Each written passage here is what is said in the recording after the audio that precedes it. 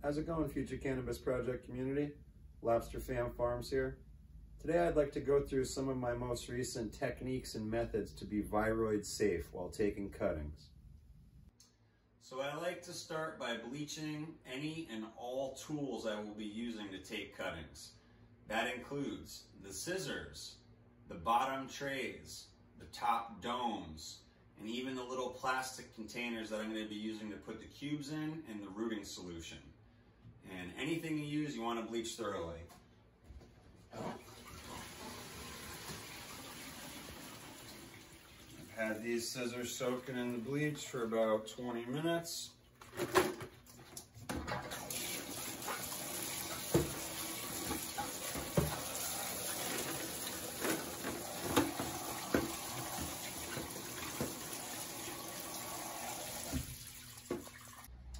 I've got all my equipment and tools bleached. I've taken a shower and changed my clothes so I can be as clean as I can. Now it's time to set up for taking cuttings. So I've got some rock wool cubes today.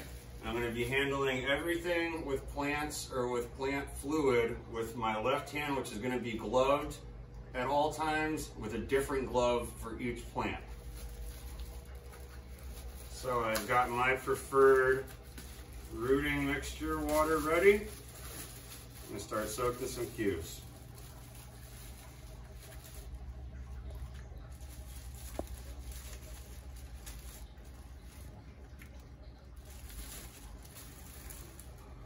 While those are soaking, I'm gonna place in each plastic cup.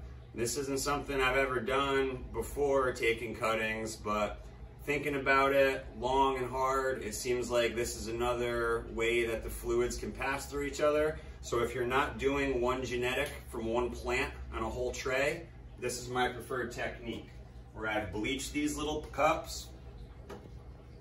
I'll do probably maybe nine per tray, maybe only six or eight. But what I'm trying to accomplish here is making it so that the root base and the fluids passing through will never touch each other. And I'm gonna try to give them each enough space so that the plants themselves don't touch each other if they were from a different mother plant. Cubes are soaked up. With the glove hands, I'm gonna plop one in each.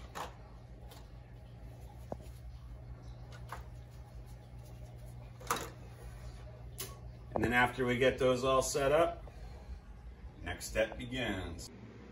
So I'm making my labels for the plants that I'm gonna be taking cuttings from. And even this process, I'm gonna hold them all with my left hand with a fresh glove and use the marker with the right hand. Just because these are gonna be jammed down in the soil. I do not know how long the fluid would just live on a piece of plastic in fresh air, but one more thing to keep in mind. So I've got my area staged, I've got all my scissors bleached and cleaned. I have as many gloves as I can fit on my paw comfortably. I can usually fit about nine or 10 before I start losing dexterity and circulation. I have about 18 different plants to take cuttings from today, so two rounds of nine gloves will do just fine. Last thing I'm doing is putting rooting solution in each of their own individual cups for the 18 plants. I like to use plastic Dixies and bleach them, but sometimes these little wax paper ones are good in a pinch. They're quick, they're cheap, and it doesn't really like leave too much of a carbon footprint. So, got my rooting solution ready, one for each plant. So what I'm running through today, I have eight Harlem River Hazes from Piff Coast Genetics. And uh, I generally like the morphology so far. They got humongous leaves. Some of them are narrow, some of them are a little broader, but I like the way they're drawn.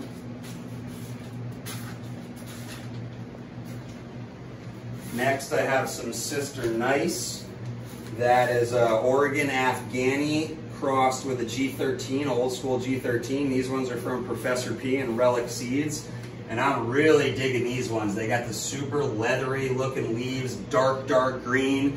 Now this one right here has a serious issue that doesn't seem to be showing itself anywhere else in the garden. So it's gotta be a mutation or something genetic. anyone out in the community who can give me a little clarity on this, it seems like it's directly one half of this leaf, directly these two halves of these leaf blades. I don't want to go bro science and try to diagnose it. If anyone out there knows better than me, let me know. I have four of those. Then I have these two that I'm very excited about. These are uh, Oregon Afghani crossed with uh, the cheese male, the cheese back cross that Professor P messes with. These ones again have super, super dark green, leathery leaves, squat growth, and I'm really, really stoked to see what comes out of these. I only have a couple, so it's kind of a gamble, but we'll see. It's always fun.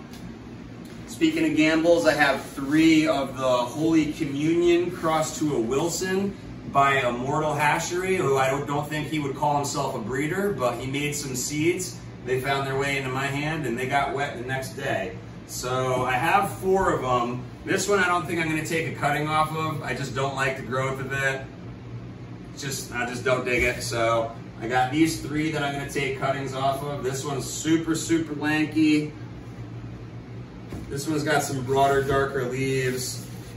A little more closer structure, but the branches aren't going out so much. This one I kind of like so far. I'm hoping this one's a tasty female. That's what's on the table today. So I think I'm just gonna do six plants per tray on this one. I have, this hand is gonna be my scissor hand every time. That's not gonna touch a plant. And it's gonna go from, this scissor is gonna be put down. I'm gonna grab a fresh one every time. I'm going to try to not get plant fluid on this hand regardless, even though ideally it's not touching another plant. Each time I go through a plant, I rip off a pair of gloves, and then that is for the next plant. I have the little cup of rooting solution that will be just for this plant, ready to rock and roll. Now, as I've already gone over in a previous short I did, I like to get at least two cuttings when I'm first starting so that I can flower one and keep one as a backup. So I'm going to try to get at least two off of each plant. This first one is the Holy Communion crossed into the Wilson.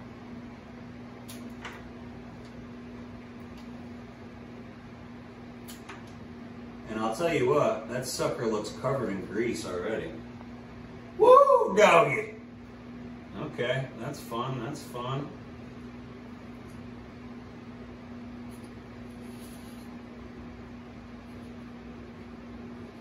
And now this plant is going to rest on the cup that it's going into.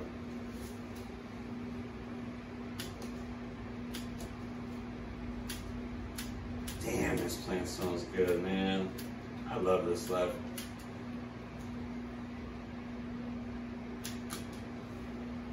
So we have two of the Holy Communion Wilson number ones ready to go.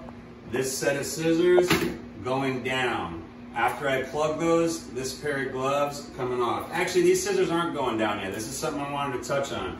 Now, I've been being hyper cautious with this round of seedlings. I haven't even pruned the cotyledons or like the little jammies off yet. So since I have a pair of gloves and scissors that correlate with this plant, this is a perfect time to get in there and prune.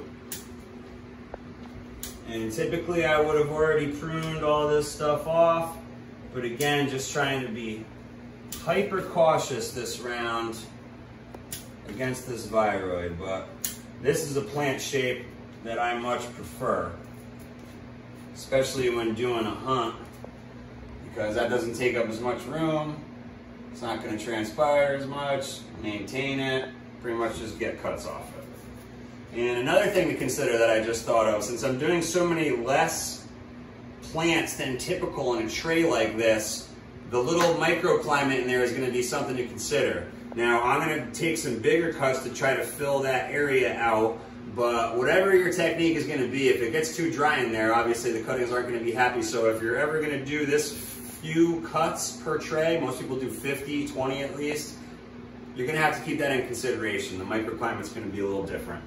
So these have soaked for a solid 10 seconds or so. I'm gonna use the same glove.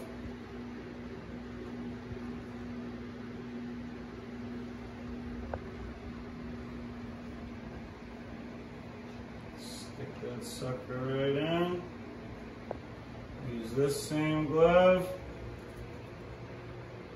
I don't see how this could be a male. This thing reeks. And so now those two plants are gonna take up that little area. These ones are gonna get their own area. Even though they're sisters and they came from the same, you know, flower, just in case they're all gonna get their own space. I haven't heard conclusively from anyone yet if there is a 10% pass of the viroid through seeds. Doesn't seem like it's really proven yet, so I'm going to assume yes, And that if I have 18 cuttings in here, most likely two of them are coming equipped with the viroid. So why not just keep them all separate and keep them safe? And from there, it's a good way to start things at least. So this plant's pruned, this glove off. On to the next one, wash, rinse, repeat. Some final thoughts on hot hop latent prevention when taking cuttings. So it's not just when taking cuttings, it's all throughout the entire gardening process. Even late stage transmission can lead to some funky flowers. So I've been trying to train myself to be super diligent. One thing I like about the garden beds is that if you do the same genetic, ideally from the same mother plant, let's assume the plants are clean to start, then you can only have to use one set of scissors per day on, you know, or one, one pair of scissors per bed, which is ideal. To me, that like, I'm like not stripping gloves off all the time and just being able to go at it and not have to worry about all the little hiccups in between. That really helps me a lot. Um, some questions I have for the community. If anyone else knows, like I'd love to know some things. How long does this, how long can the viroid survive on fingertips? Like let's assume I had dirty practices, pinching some leaves off of some infected plants. How long can it live in that fluid on my fingertips? How long can it live on the plant fluid on the scissors? Let's say I missed something and shared scissors with a plants that I shouldn't have but it was like, you know, let's say in theory 10 days apart, can that fluid still be living on those scissors? What's the expiration date? And how that can correlate to, it's like, let's say I, I pruned an infected plant two days ago. I got plant fluid on my hand. That was the last thing I did. Now I'm going to a clean garden is like my watering practices and me touching the bucket and like my hand even touching the water that's the mixture. Is that a possible transmission? I don't think so, but like, I want these things to be clearly laid out, that's for sure. One thing I would love too is to see clear, concise, conclusive evidence if the viroid is being passed by pests or not. I feel like then all of these techniques are for naught if it's just gonna be as simple as uh, having a bug come in, bite one plant and bite another. I've heard very conflicting views on this subject. I'd love to raise the conversation more. I'm not educated enough in, you know, entomology or plant biology to speculate, but I'm assuming it can, you know, but I want to know how long can that plant fluid survive on uh, a pest's, you know, anthers or, you know, wherever this fluid is smothered in its face. So I'd love to keep this conversation going. I'd love to hear other people's approaches and techniques. If anyone sees any folly in my approach, I'd love to hear that as well. And uh, nothing but respect and much love to the cannabis community. Peace out.